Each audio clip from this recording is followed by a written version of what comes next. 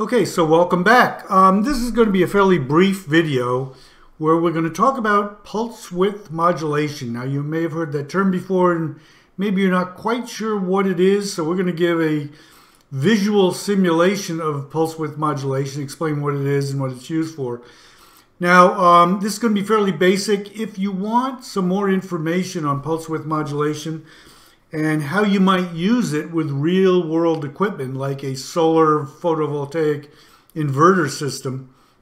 I've got a series on solar, solar photovoltaics, uh, and I believe the first one in that series talks about PWM and how you apply it with an inverter. And you can check that series, you can see uh, the implementation of it for a uh, solar plant. Okay, so what is pulse width modulation? Um, generally, if I want to understand something, the first thing I consider is the name. And what does the name mean? Well, pulse width modulation implies that you are modulating or controlling the width of a pulse. And that really is basically what you're doing. Now, to illustrate that, I have started up uh, a software application that engineers use called MATLAB. And this is a, an element in MATLAB called Simulink. And you can see here on the left, I've drawn out a circuit and I've included some stuff in here. And on the output, I've added a scope. And you can see this window over here is the output of the scope. And what we're going to do is we're going to run a simulation and we're going to look at pulse width modulation. Okay, so I'm going to go up here and press the run button. And you can see I have a repeating what's called a square wave.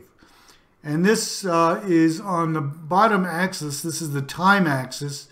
And this uh, y up and down axis is the y-axis. And this is the value of the uh, repeating square wave. And you can see it repeats every 0.1 seconds. If you look down here on the bottom, it goes from 0 to 0.1. Half of it is positive, and then it goes to 0 and then it repeats positive and then zero out to 0.2 and then out to 0.3. So it's a repeating square wave with a period, which is in this case 0.1 seconds. The period is the duration of each repeating element. Okay, so I have a square wave that's repeating every tenth of a second, and the value it goes between 1 and 0. All right, this is a, a repeating square wave. Okay. Now, uh, I've got in here, if you look into this uh, Simulink circuit, I've got a slider over here and it can vary from 0 to 1. And what this is doing is this is going to vary the width of those pulses. So I'm bringing it down, I'm at 0.3, 0.2, 0.1, and you can see as the slider gets less, it goes down to uh, the width of this pulse, of each repeating pulse, gets less and less. And as I bring it back up to 0.5, here we are at 0.5, and I'm going to bring it up to 0.8, 0.9, and up to 1, and you can see it's always positive, all right? Now, if I bring it back to 0.5, what that's telling me is 50% of this repeating wave, square wave, is at 1, and 50% is at 0. If I bring it up to 0.9, then 0.9 or 90% of this repeating wave is at 1 and only 10% is at 0. And if I bring it down to 0.2, 20% of this is at 1 and 80%, the remainder is at 0. So I am defining the width of these pulses by this slider value. And it's basically like a, a DC value that I'm varying to, to convert to a varying pulse width, okay? Now, this value, this constant value that I'm changing, uh, defines what's called the duty cycle. And it's a fancy word, but all that, that word means, all that phrase means, duty cycle, is the percent of time that the wave is high or positive. In this case, 1. So I'm at 0.5. 50% of the time is at 1, which means I'm at 50% duty cycle, or 0.5. And if I bring it up to 0.9, I'm at 90% duty cycle because 90% of the times it's at 0.1. And if I bring it to 0.3, it's 30% duty cycle because only 30% of the time is it high at 1, okay? So again, a fancy term, and it just means uh, the extent to which, the amount of time, the percent of time that you are high uh, versus low, okay? So that's the duty cycle. So I'm using this uh, slider to vary the duty cycle, okay? I am modulating the width of the pulse, which means I am varying the duty cycle, okay? Now, why would we do this? Well, this is a very, very popular uh, technique in uh, being able to vary the power you supply to a load because it's a very efficient way to do it. So it's used in power supplies, it's used in motor controllers. It's used in a lot of uh, applications that are used to vary power. So now you might be wondering, well, how do we do that? How do we convert a varying DC value into this more complex pulse width modulation? Okay.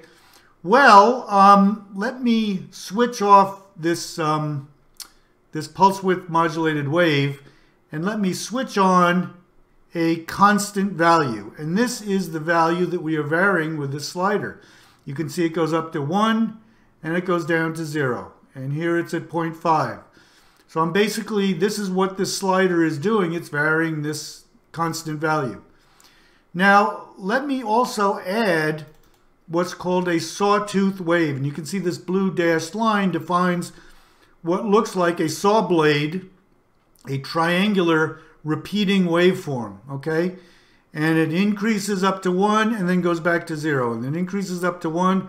And again, it's the same period or the same duration of the repeating pulses.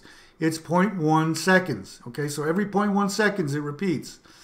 So now what I'm doing is I am varying the constant and if you think about it, maybe you'll start to see how you can generate a pulse width modulated waveform using these two signals, okay?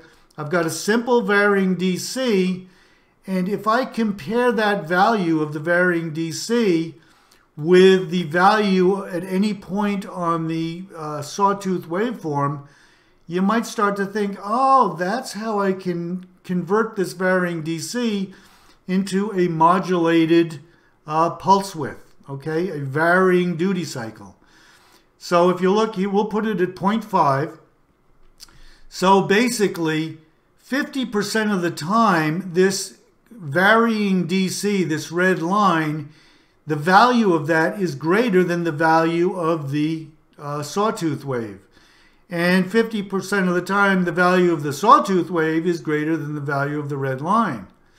So if I increase it up to 90%, you can see, okay, now only maybe 10% of the time the sawtooth is greater and all the rest of the time, the red line is greater.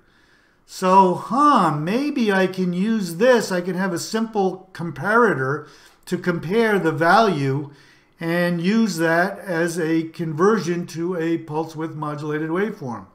And if I turn on the pulse width modulated waveform and vary it, you can see, oh, okay, that's how you do it you compare the value of the fixed uh, sawtooth wave with the varying DC, the red line, and the output of that will be this varying pulse width modulated waveform, okay? So really it's, it's no magic. It's basically just comparing two values to get a varying pulse width or a varying duty cycle, okay? So in a nutshell, that is pulse width modulation of a waveform. So of course you don't want to just use a varying DC value to, to generate your pulse width modulated waveform. Um, you're probably going to want to use something like a sine wave. And in this case, you see this red sine wave that I'm using to generate this pulse width modulated waveform, this uh, solid yellow uh, PWM signal. And basically it's doing the same thing, but it's using a sine wave as a controller instead of a, a DC value. And you can see it's, it's, it's doing the comparison that I talked about before.